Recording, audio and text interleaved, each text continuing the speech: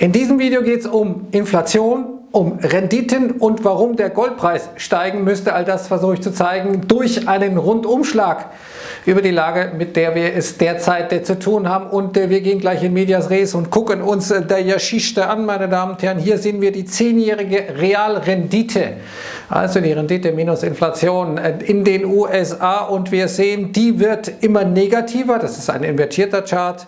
Also ein umgedrehter Chart hier, die rote Linie und Gold ist ein bisschen gestiegen zuletzt, aber nicht wirklich gestiegen. Und Sie sehen, in der Vergangenheit war das meistens so, dass die Dinge relativ parallel gelaufen sind, dass also Gold dann gestiegen ist, wenn die Realrenditen immer negativ wurden, negativer wurden. Und welche Situation haben wir heute?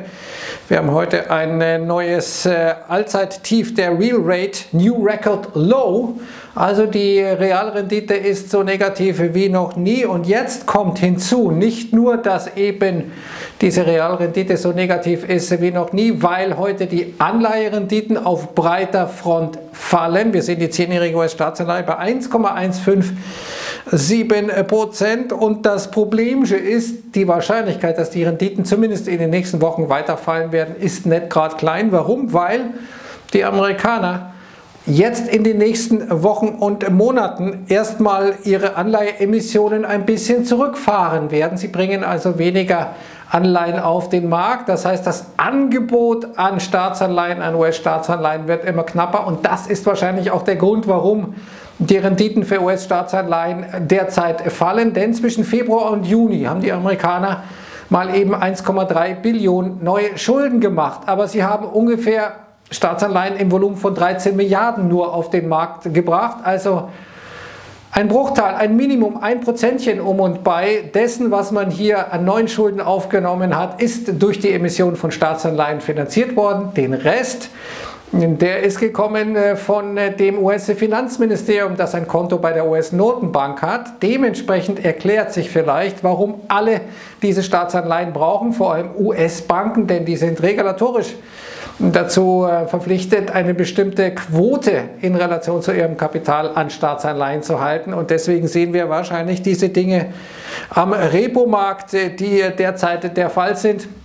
Letzten Freitag das erste Mal die Billionengrenze überschritten an einem Tag, wo also Banken oder Geldmarktfonds bei der FED Gelder geparkt haben, Cash geparkt haben, um Staatsanleihen zu bekommen. Und äh, hier sagt Andreas Steno-Larsen, dass diese Situation jetzt äh, sich verschärfen könnte, weil die Fed jetzt bald das Tapering beginnen wird, also die Anleihekäufe weiter reduzieren wird. Man sehe das schon, so sagt es Andreas Steno Larsen, in dem sogenannten Twisting von QE-Purchases. Also äh, man äh, ist jetzt in längere Laufzeiten gegangen, das sei ein Hinweis. Und eben diese Reverse Repos, über die ich gerade gesprochen habe, eine Billion zuletzt.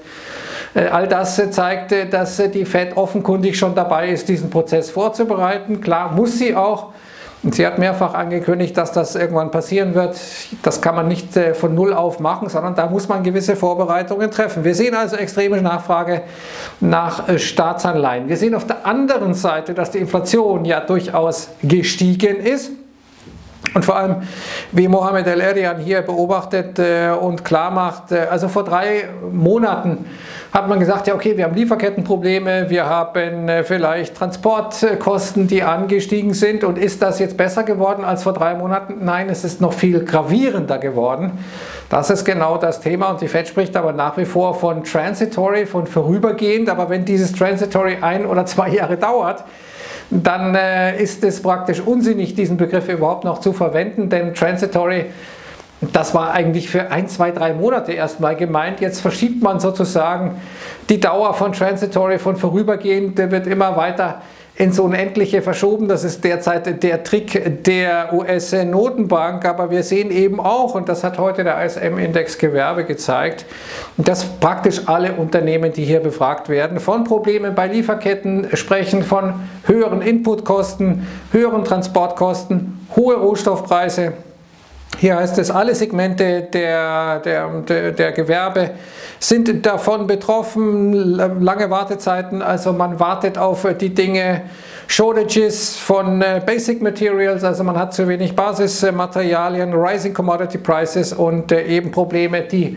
äh, Dinge, die man produziert, dann auch zu transportieren. Und auch, man spricht hier beim ISM von Worker Absenteeism, was für ein Wort, ein äh, Absenteeismus gewissermaßen von Arbeitskräften. Also es gibt zu wenig Arbeitskräfte, jetzt einmal das auf äh, gut bayerisch gesagt, meine Damen und Herren.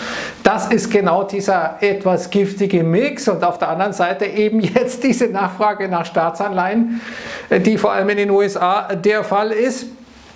Und äh, dadurch sehen wir, dass äh, hier eben die realen Renditen immer weiter negativ werden und das müsste eigentlich sehr, sehr gut für Gold sein. Äh, apropos Staatsanleihen, jetzt äh, ist ja so, eigentlich müsste ja am 1. August, also gestern, ähm, die Schuldenobergrenze angehoben worden sein. Jetzt hat Janet Yellen mal eben schnell als Finanzministerin ein paar Sondermaßnahmen verfügt, Extraordinary Measures ergriffen damit man erstmal die Finanzierung der USA aufrechterhalten kann, weil der Senat es nicht hinbekommen hat, in den USA eben diese Schuldengrenze anzuheben oder zumindest irgendwie eine Idee zu entwickeln, wie man jetzt weitermachen will. Durch diese Notmaßnahmen, die Janet Yellen jetzt äh, offenkundig ergriffen hat. Also man greift auf irgendwelche Töpfe, die irgendwo noch äh, zu finden sind, zurück. Dürfte das Ganze noch drei Monate gehen, bis eigentlich dann äh, die USA, naja, bankrott wären, wenn man so will, wenn man eben die Schuldengrenze nicht äh, anhebt. Aber natürlich wird das passieren mit der Schuldengrenze, gar keine Frage. Aber gucken wir mal nach Europa. Wir haben heute jetzt das erste Mal, dass die 30-jährige deutsche Staatsanleihe unter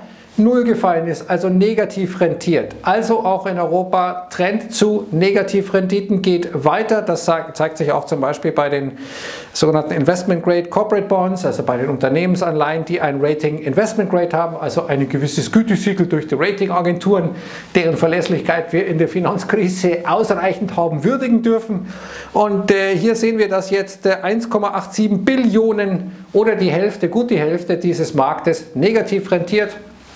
Wunderbar, das heißt Unternehmen, die Investment-Grade-Status besitzen, die können sich äh, Geld leihen und die bekommen Geld dafür, dass sie sich Geld leihen, dass sie also Kredite aufnehmen. Auch das ist super. Markets can test us as much as they want, äh, hat äh, Lagarde gesagt. Momentan läuft der Test in die andere Richtung. Das ist bezeichnend. Und jetzt haben wir gleichzeitig aber Inflation. Markus Karl hat das hier mal ein bisschen ausgerechnet. Wenn wir ein Sparvermögen der Deutschen von 7,143 Billionen Euro haben und gleichzeitig eine Inflation von 3,8 Prozent. Wenn das jetzt so bliebe, dann wäre das eine Enteignung, wie er das bezeichnet, von 271 Milliarden Euro oder 3.300 Euro pro Bürger oder 13.240 Euro für eine Familie. Gell? Und da sagt er, das ist eine Solidaritätsabgabe der Deutschen äh, für den Euro. Danke, liebe EZB.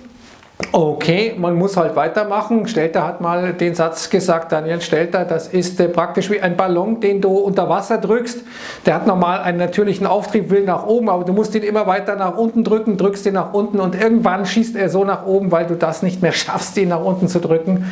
Vielleicht werden wir vor dieser Situation stehen. Wir werden am Donnerstag in der dritten Folge von Boom und Bust darüber sprechen, unter anderem mit Torsten Pollert, meine Damen und Herren. Und da geht es auch um den Goldpreis hier, by the way, in einem Chart von Capital.com. Wie lange habe ich das schon immer gesagt? Gell? Also, schauen Sie mal her. Ich habe Ihnen hier mal eingezeichnet, Gold, die relevanten Unterstützungs- und Widerstandslinien. Wir haben eigentlich ein ziemlich klares Bild. Wir haben unten auf der Unterseite so bei 1790, 1795 eine ziemlich dicke Unterstützung und wenn bei 1830 Dollar einen Widerstand, geht der da drüber, der Goldpreis nämlich, dann dürfte das weitere Zugewinne nach sich ziehen. Ein Bruch dieser 1790-95er Marke dagegen wäre eher negativ, aber normalerweise ist jetzt demnächst der Beginn einer saisonal eher günstigen Phase für Gold. Das könnte also sich nochmal ausgehen. Und die Frage ist, naja, warum fallen die Renditen eigentlich? Ist das Konjunkturpessimismus? Ist das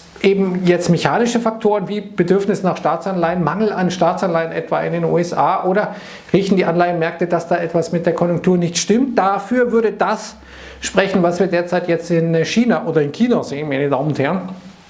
Hier sehen wir unten mal den Kalkschienen Einkaufsmanager Index, der sich ja gerade noch über der 50er Marke gehalten hat, aber die Neuaufträge sind unter die Marke von 50 gefallen. Das heißt, die Neuaufträge sind weniger geworden. Kontraktion, die wir hier bereits sehen und dass die chinesischen Aktienmärkte dann doch husierten, also nach oben gingen. Das hat den US-Futures geholfen, das hat dann äh, das ganze Sentiment ein bisschen gestärkt, äh, weil man ein bisschen mehr Stimulus betreiben will, weil auch den Herrschaften in Peking klar wird, oh, das läuft nicht mal so richtig, da müssen wir ein bisschen wieder Äh, geben müssen wir da und dementsprechend sehen wir hier diese Stimmung. Erstmal super Nachricht dazu, eben auch vielleicht Infrastruktur in den USA. Der Senat soll ja in dieser Woche äh, darüber abstimmen. Also eigentlich alles schick, aber dennoch die Märkte dann immer weniger euphorisch, nachdem es das obligatorische Overnight Gap gegeben hat im äh, europäischen Handel. Äh, sehen wir, dass die Geschichte schwieriger wird. Äh, Peking wird jetzt einige Flüge und ähm, Zug Fahrten annullieren, wird die nicht stattfinden lassen. Wir sehen, dass Millionen von Chinesen jetzt äh, wieder im Lockdown sind. So viele wie seit Februar 2020 nicht mehr. Also diese ganze Geschichte, ich hatte es heute Morgen im Videoausblick schon thematisiert, die wird nicht besser in Asien, zumal auch andere Volkswirtschaften in Asien, Thailand, äh, Vietnam, Philippinen, Indonesien, hier wirtschaftliche Probleme inzwischen haben die Einkaufsmanager-Indizes unter die Marke von 50 gerutscht, damit Kontraktion anzeigen. Und wir sehen, dass äh, Volatility möglicherweise ansteigen könnte, also die Volatilität am Aktienmarkt.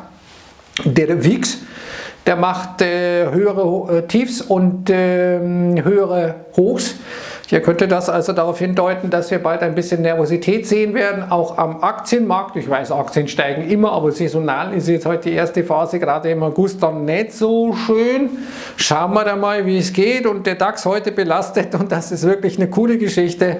Die Allianz hat gestern am Sonntagabend eine Ad-Hoc-Mitteilung herausgegeben, dass sie also möglicherweise eine Neubewertung von Risiken aus ihren Fonds äh, vornehmen muss, äh, die von in, äh, wo US-Institutionen Institutionen offenkundig Gelder versenkt haben. Das heißt, die Allianz hat mit ihren Produkten Verluste gemacht und musste jetzt Wert berichtigen. Das ist cool, dass einem das am Sonntagabend einfällt. Gell?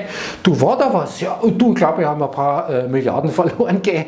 Das habe ich, hab ich letzte Woche ich das noch gar nicht auf dem Schirm gehabt. Gell? Aber Sonntag, ne, da denkst du anders drüber nach, da bist du entspannter, da wirst du kreativ, auch gedanklich und dann merkst du, oh, da fehlen ein paar Milliarden. Gell? Und das hat heute dann die Allianz belastet und dann eben auch den DAX belastet. Ciao schauen wir mal, ob der Goldpreis wirklich so steigen wird. Das Umfeld ist eigentlich ziemlich gut, möchte ich fast äh, formulieren. Vor allem, wenn der Anstieg über 1830 Dollar gelingen könnte. Wir sehen Renditen im freien Fall. Irgendwas ist da im Busch, meine Damen und Herren. Wir werden bald sehen, was das ist. Ich wünsche jetzt einen schönen Feierabend und sage Servus Ciao.